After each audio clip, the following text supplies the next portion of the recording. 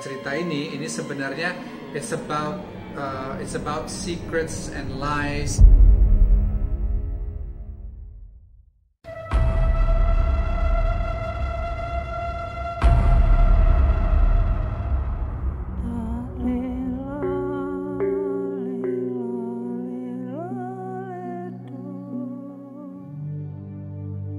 Awalnya berjalan lancar ketika ada satu titik sebuah permasalahan terutama masa lalunya itu dibahas itu menjadi sesuatu yang di luar duga Ibunya itu sampai stres.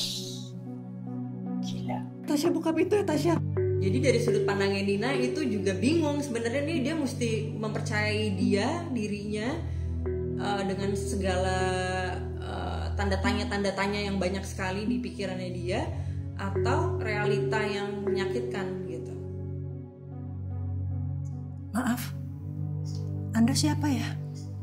Kalau bicara uh, cerita ini ini sebenarnya it's about uh, it's about secrets and lies and tentang sebuah keluarga yang yang sepertinya kelihatannya keluarganya itu um, manis dan harmonis tapi ternyata there's something sinister behind kemanisan ini.